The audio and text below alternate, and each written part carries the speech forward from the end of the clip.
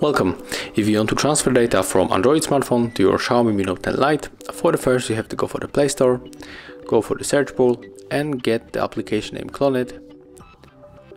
We are going to use it to transfer data, click on install and of course you have to do the same on the second smartphone. If you get this application, just open it, click allow once and then tap allow a few times. Click sender on your Android phone tap on the set, turn on location, go back and click sender once again. Right here we have to tap on the yes I agree and click on the receiver. Click allow, click on the search again,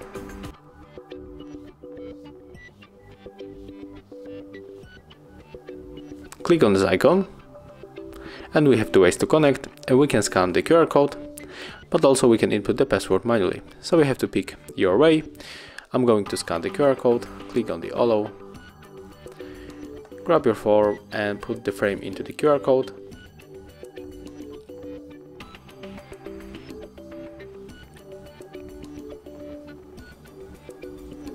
Accept the request right here. And if you want to send everything, just click on all of this icon, then tap on the start. Uh, but if you want to get all the details, you can go right here.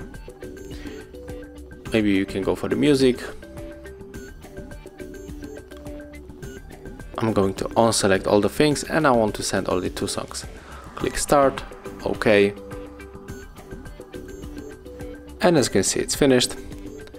So we can check right now how it works so let's go for the file manager